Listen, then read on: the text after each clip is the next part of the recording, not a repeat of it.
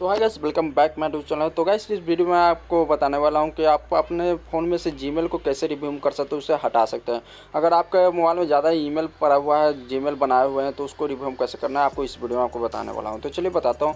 तो सबसे पहले आपको अपने जी को ओपन कर लेना है। मतलब अपने मोबाइल में जाना है जी वाला में ऑप्शन में जाना है। आपको यहाँ पर जी खोल लेना है। जी खोलने के बाद ऊपर आपको आइकन रहेगा, उस पर आपको क्लिक करना ऊपर वाला में आइकन पर।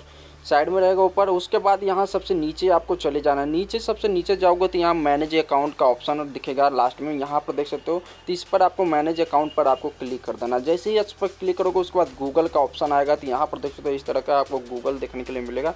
तो उस पर आपको गूगल वाला पर क्लिक करना है। जैसे ही गूगल वाले आप पर क्लिक करोगे तो उसके बाद आपका जितना भी जी लॉगिन रहेगा मोबाइल में, वो सारा चीज़ आएगा। यहाँ पर देख सकते हो, मेरा जितना भी जीमेल था, वो सारा चीज़ शो हो रहा है। यहाँ पर तो देख सकते हो तो उस पर आपको क्लिक करना है। जिसको आपको जीमेल को हटाना है, उस पर क्लिक करना उसके बाद ऊपर थ्री डॉट दिखेगा, उस पर आपको क्लिक करना है, उसके बाद रिव्यूम आपको दिखेगा रिव्यूम अकाउंट उस पर आपको क्लिक करना है। फिर से आपको रिव्यूम अकाउंट दिखेगा, उस पर आपको क्लिक कर देना जैसे ही इस पर आप क्लिक कर दोगे, उसके बाद आपका जो जी आप हटाए हो, वो जी आपको हर जाएगा तो गाइस यहाँ पर जितना भी आपको जीमेल दिखेगा, उस बस उस पर आपको एक बार टैप करना है। मतलब जो जीमेल आपको हटाना रहेगा, उस पर टैप करके आपको थ्री डॉट पर जाकर रिव्यूम आपको कर देना है। तो गाइस आपका वो जीमेल रिव्यूम हो जाएगा मोबाइल से। तो गाइस इस तरह से आपको रिव्यूम कर सकते हो। तो गाइस इस वीडियो में इतना ही था। शिवाय मिलता हूँ नेक्स्ट वीडियो